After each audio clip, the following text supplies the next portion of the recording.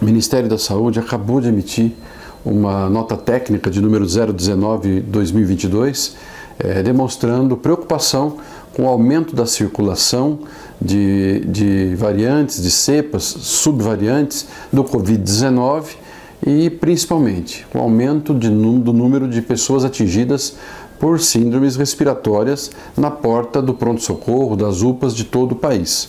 Aqui no Paraná, nós também temos isso, talvez ainda não na mesma escala que outros estados.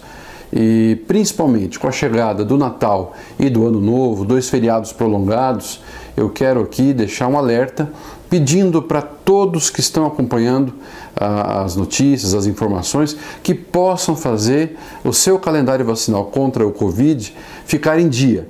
Quem não tomou a primeira dose de reforço deve buscar na unidade básica de saúde, na sala de vacinas mais próximo da sua casa, no seu município, que essa vacina seja administrada. Quem tomou a primeira dose de reforço, não tomou a segunda dose de reforço, também faça o mesmo.